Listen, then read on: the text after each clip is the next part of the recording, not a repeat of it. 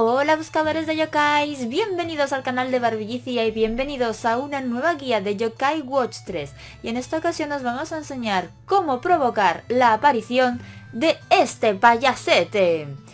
Este payaso es uno de estos encuentros fortuitos que nos van a dar mmm, cositas interesantes, ¿no? El momento, llegó la hora del espectáculo, nos, es una de las cosas que nos puede dar eh, la capa de la ventisca, perdón que me he quedado en blanco, capa de ventisca y una parte de eh, de estas importantes para hacer nuestra guía. Puede aparecer en varios lugares de distintas partes de Estados Unidos. Pero esta que veis en pantalla es súper fácil de que nos aparezca. Es muy rápido porque justamente al lado tenemos un cambio de zona. Así que es la que yo os recomiendo. Ya vais a ver que en cuestión de 5 o 6 minutos vamos a provocar tres apariciones. Y tuve la enorme suerte de que me apareciera la parte de original a la primera. Porque puede tardar un montón. Bueno, lo más importante y lo primero que hay que hacer. Solo nos aparece en Estados Unidos y a partir de medianoche. ¿Eso qué quiere decir? Que nuestro reloj ahí de la esquina superior izquierda es en la franja horaria que en un reloj real sería entre las 9 y las 12. ¿Vale? A mitad de medianoche es cuando nos va a empezar a aparecer este payaso por las calles. Si nos vamos mm, al ayuntamiento, a la zona del ayuntamiento de Norwich, tenemos un telespejo aquí que nos teletransporta. ¿Vale? justamente en la calle de arriba, nada más aparecer, aquí en la calle de arriba cuando el niño se está paseando, aquí aparece el payaso.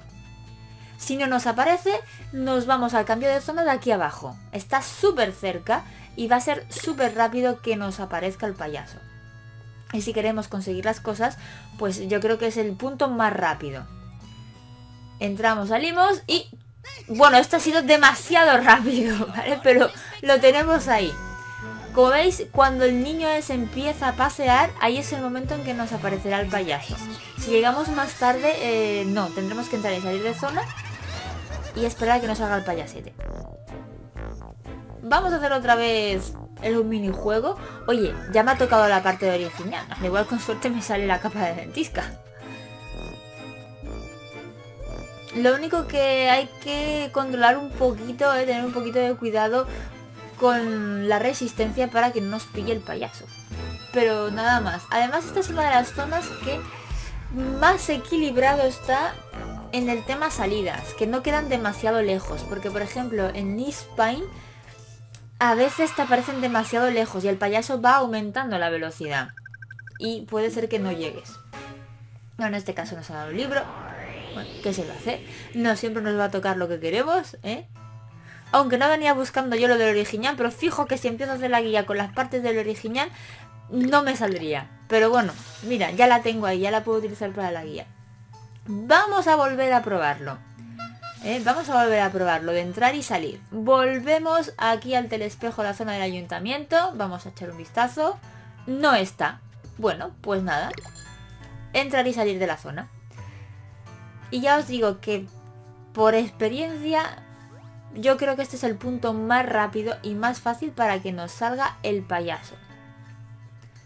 Entramos, salimos, ahí tenemos el niño, no está el payaso. Bueno, volvemos a probar.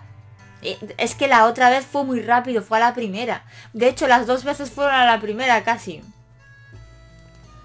No suele ser tan rápido. Hay veces que sí, ¿eh? que entras y sales y tienes varias veces ahí el payaso de seguido. Aquí tampoco podría dejar aquí el vídeo, pero es que quiero demostraros que aparece bastante rápido. Aunque no siempre sea tan tan rápido como la otra.